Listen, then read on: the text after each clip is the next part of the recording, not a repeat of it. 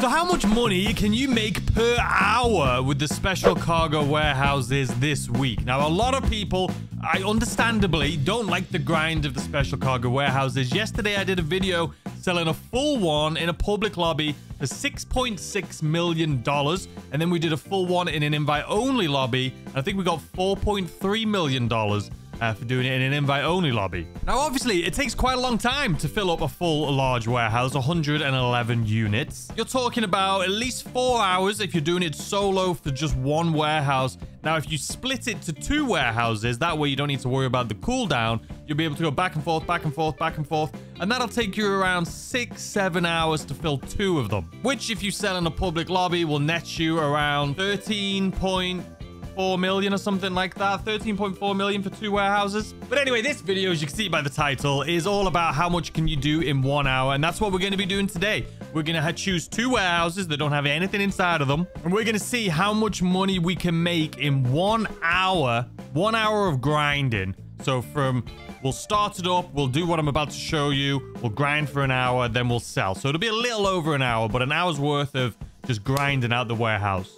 Just in case there's any of you at home that either have just purchased one or like, you know what, I have them, but I'm just not in the mood to grind out that much, so I just don't want to do it. Well, at least you can see how much money you can make in an hour. So let's just go ahead and jump straight into it. All right, guys, here we are in our CEO office. And first of all, before we get into the hour of grinding and how much money we can make, I'm going to set it up so it's perfect, so we can get we can take advantage or use the full hour to its full potential. So first things first, we're going to have to go to an invite-only lobby because there is no reason to do this in a public lobby at all. The next thing we're going to do is request our Terrorbyte and set that up right outside where we need to go. And I don't know what it is about driving the Terrorbyte. Let me know if you guys have the same thing, but it just feels like I'm going light speed when I put it into this.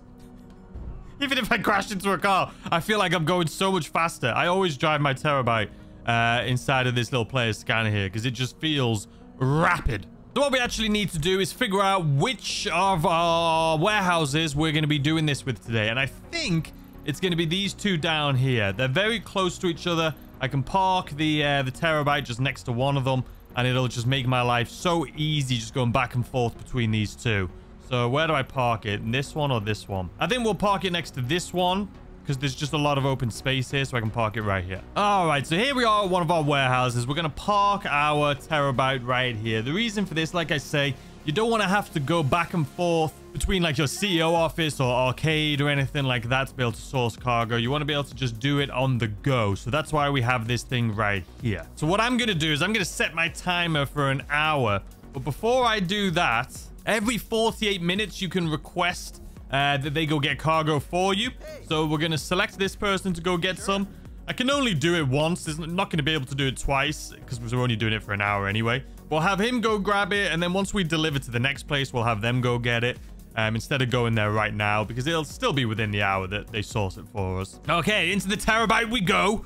Let me get ready on my phone. I'll wait until we've sourced the first one. All right, special cargo, three crates, and this one is wholesale furniture. There we have it. My timer has been set for one hour. Let's see how much money we can make with the special cargo warehouse this week for one hour. Oh my god, why did I put my Terrorbyte right outside the front door? Note to self and to you guys, don't put your Terrorbyte right outside the front door because it puts you literally right outside the front door. All right, so the first set of delivery or pickup missions was there. I had to pick up three from this location right here.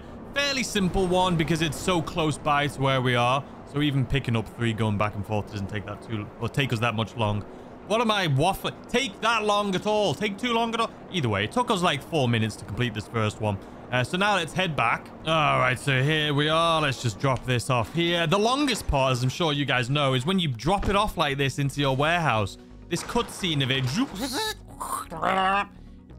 takes forever. You gotta go in, do that, turn around, go out. Anyway, there we go. Three out of three delivered. Now let's leave. Now we can go straight into here, straight into our dashboard here. Special cargo, three crates. So I know it's not West Vinewood. I know it's not the gas one. I know it's not the blah, blah, blah one. So it's got to be the logistics one. I forgot the name of it, but I've, by process of elimination, I know it's going to be this one. There we have it. So let's just say goodbye to here. Go away. Usually I would try to park my oppressor in here just so it's easier to get out. Look where it puts me right at the door. Uh, note to self. Park further away so when you come out of your bloody Terrorbyte, it doesn't spawn you right into the door. I mean, this one seems too good to be true because it's literally right here. I'm assuming we're going to get chased by some bad guys. Uh, but to be honest with you, this is going to be one that takes like two minutes. We're not that far away. You can see less than a mile away from our warehouse. All three of them are in this one van. I'll take it. Sometimes you get lucky. You win some, you lose some. This time we won some. All right, and just like that, I did indeed choose the correct warehouse. So it was this one. That took like a minute, two minutes max. All right, and since this was our first drop off, now we're going to come up to this gentleman right here and source special cargo. Like I said, we're only going to be able to do that once for this one and the other one because we've only got an hour doing this.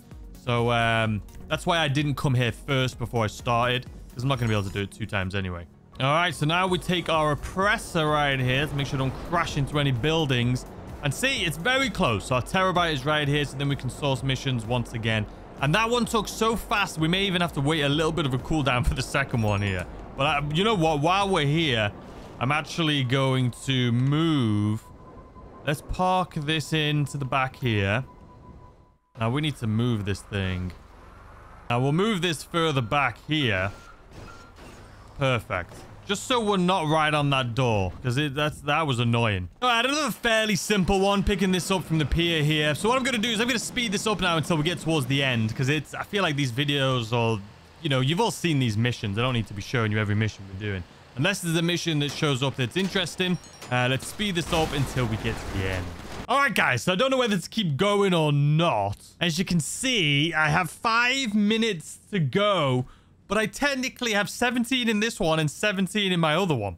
So there's 17 in each.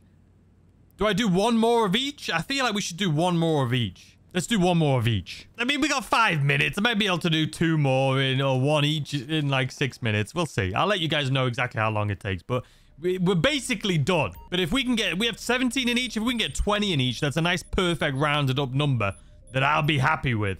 So let's go ahead and do one more for the wholesale and then one more for this one. And I'll come back to you guys. All right, so what we're going to do now is we're going to sell both of these. We're going to sell one of them in a public lobby, a full public lobby, and one of them in an invite-only lobby. This way, we can see exactly how much money that you guys can make per hour with this special cargo unit, whether you choose to do it in a public sale or an invite sell you can make that decision based off of the information I give you here in a second. So let's go ahead, get into a public lobby and do our first sell mission. So there we go, 20 units, two times pay, by the way, if you're watching this this week when it comes out, that's why it's so much. If you don't have two times pay, pay, just split that in half, so 310,000. Better not be two delivery vehicles, man, just for that little. All right, so it's a plane once again, which I'm fine with. Oh, and it's one of these planes. You know what that means. We're going to get it shot at by NPCs. And because this thing's made of paper, we're going to go down uh, like a sack of potatoes. All right, let's just speed this up because I'm not looking forward to it. I'm not looking forward to this plane. If we're going to have to back out eventually, we're going to have to back out. But all right, let's just bloody do this. I feel like I'm going to have to go into Ghost Org too. Where are we flying? So we're going to go up north first. So we're just going to go around the coast. Let's see what happens. I can see, look at that right there. He's 100% coming for me.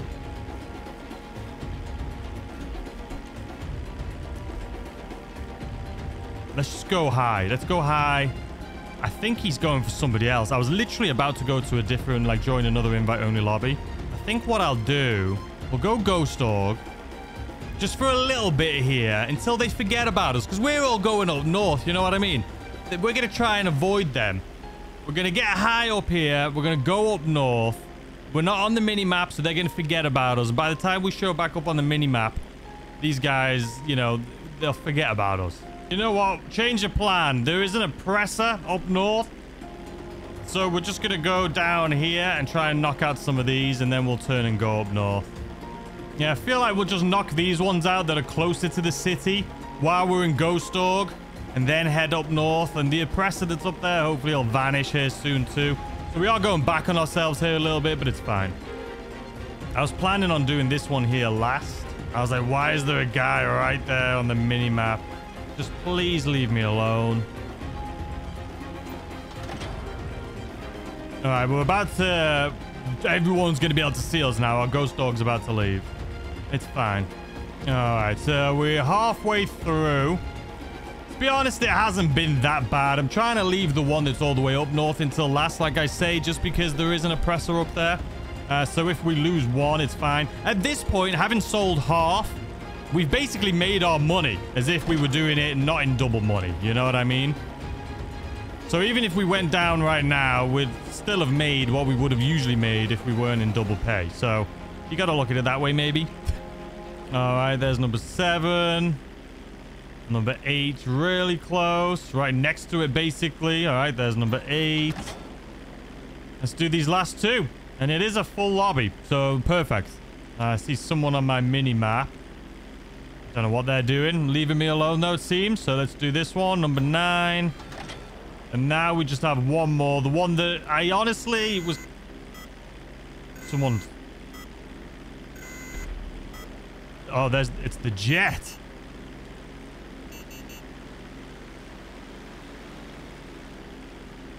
It's the jet. We're trying to avoid him. Too late, buddy. Too late. 930,000. You know what? Let's outsmart this guy because he sucks. Absolutely sucks. He tried locking on us. Can't fly to save his life. Where is he? Where is he? You know what? I think that's coming from behind. I really don't mind.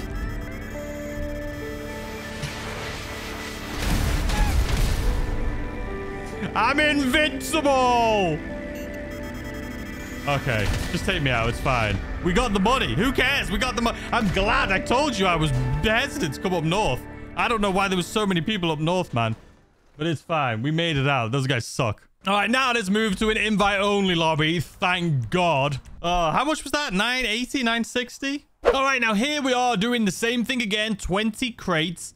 This time, we are in an invite-only lobby. Now, what have we got? Two trucks.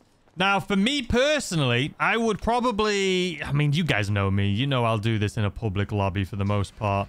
Uh, but the reason I'm doing it this way is just so you guys can see the difference. See how much money you can make per hour versus... Or how much money you can make an hour in a public lobby versus how much you can make an hour in an invite-only. Now, this is a lot. I think it's five deliveries per truck or is it 10 deliveries per truck? I'm not sure, but this is a lot. All right, so it was, it was three or five, sorry, per thing. So $620,000 there we have it, ladies and gentlemen. So let's go full screen and talk about exactly how much money and how much time we made today and how much you can make too. All right, guys. So there we have it, ladies and gentlemen. So if you, uh, well, I was going to say in an hour. It was probably an hour and 10 because I had to go and get some couple more there. Maybe not 10 minutes, an hour and five. But then obviously you got the sell mission. So all in all, from grinding out for an hour and doing the sell missions, you're looking at like an hour and a half. So how much money can you make? Well, if you grind out for one hour and you go back and forth between two like I did today, and you sold both of them in a public lobby, you would be making just shy of 1.9 million. So 1.8 million and $60,000. So let's round that up to 1.9, almost 2 million, but 1.9 million in an hour or from an hour of grinding then selling them. So 1.9 million if you do public lobby. Now, if you do it in an invite only lobby, you're looking at 1.2 million, 1.3 million. Today's we got 1.2 million and 40,000. So let's just round that up. So it'll be 1.3 million, let's say, for invite only. So those are your choices. When it comes to grinding out for an hour, there's about $600,000 difference between a public lobby and an invite only. So is it worth that risk to you? Let me know in the comment section down below. Because obviously if you saw yesterday's guide video where I sold a full bunker for like 6.6 million, there was a huge difference between a full bunker in an invite versus a full bu uh, bunker in a public. We're talking two plus million dollars. But there you have it. Either way, great money making methods. This money making methods this week. I was going to post this video on Monday, but I was like, you know what? There's so much money to be made. Is even per hour like we just did. I feel like I need to get this video out on Saturday so you guys can enjoy it for the weekend and grind away. So you can be making, like I say, almost $2 million an hour this week if you're doing it in an invite-only lobby. Anyway, let me know if you guys have been messing around with this, if you guys have been selling more. I don't think you're going to be selling more, but let me know if you guys have been doing it. Either way, are you excited about it? I know a lot of people don't like spending hours and hours and hours and hours grinding away, but would you spend an hour like I did here today? Let me know in the comment section down below. Hope you're all having a fantastic weekend, and I'll see you tomorrow with a brand new video. Goodbye.